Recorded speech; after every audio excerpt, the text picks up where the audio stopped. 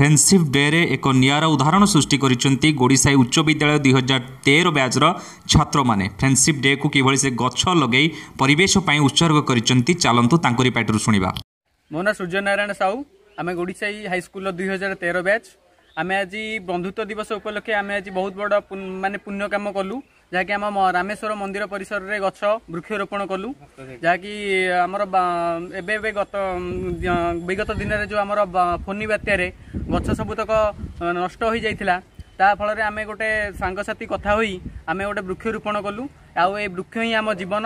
ଆମେ ବୃକ୍ଷଠୁ ଆମେ କିଛି ଅ, ସା- ସାହାଯ୍ୟ ପାଇପାରୁଛେ। ଏବଂ ଆମେ ଖରାଦିନେ ସାଧାରଣତଃ କୌଣସି କାର୍ଯ୍ୟରୁ ଫେରିଲା ବେଳେ ଛାଇ ଦେଖି ଆମେ ତାଠୁ ଛାଇ ପାଇପାରୁଛେ। ଆମେ ଗୁଡ଼ିସାହି ହାଇସ୍କୁଲର ଦୁଇ ହଜାର ତେର ବ୍ୟାଚ୍ର ବନ୍ଧୁମାନେ।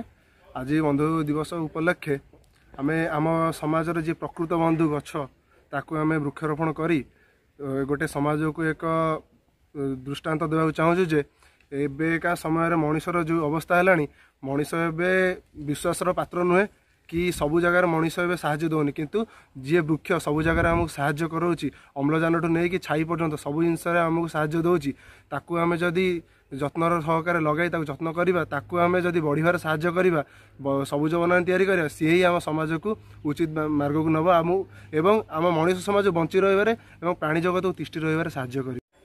ଦୁଇ ହଜାର ତେରର ମୋର ସମସ୍ତ ସାଙ୍ଗମାନଙ୍କୁ ଅଭିନନ୍ଦନ। ଆଜି ଭଳି ଦିନରେ ଗୋଟେ ବୃକ୍ଷରୋପଣ କଲେ ଓ ଗଛକୁ ଆମେ ନୂଆ ଜୀବନ ଦାନ ଦେଲେ। ସେଭ୍ ଟ୍ରି ସେଭ୍ ଲାଇଫ୍ ଗଛ ବୃକ୍ଷରୋପଣ କରନ୍ତୁ ଆଉ ବୃକ୍ଷକୁ ଯତ୍ନ ନିଅନ୍ତୁ। Happy friendship day